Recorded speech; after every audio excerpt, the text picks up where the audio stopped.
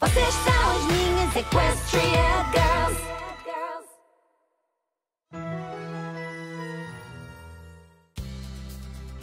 Na sessão 2 de bricolagem com a Applejack, vamos construir para a minha amiga Rarity um quarto de vestir em 73 passos muito simples.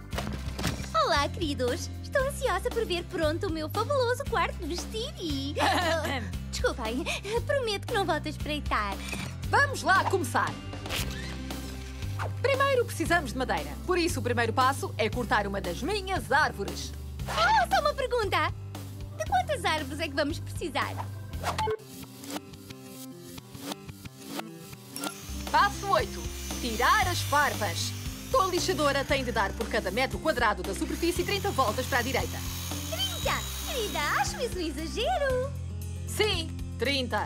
E depois é preciso verificar se está bem lixado. Oh, bolas! Perdi-me a contar. Bem, tenho de cortar outra árvore. Ah, sim, isto é positivamente eletrificante.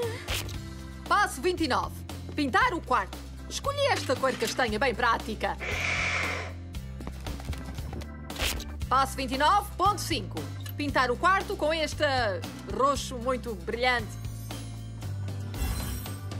Passo 42. Acrescentar papel de parede com botões. É melhor ter cuidado e medir o papel pelo menos duas vezes.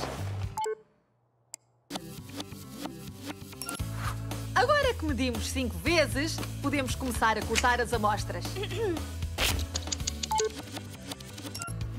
Só temos de descobrir qual das 62 amostras fica melhor.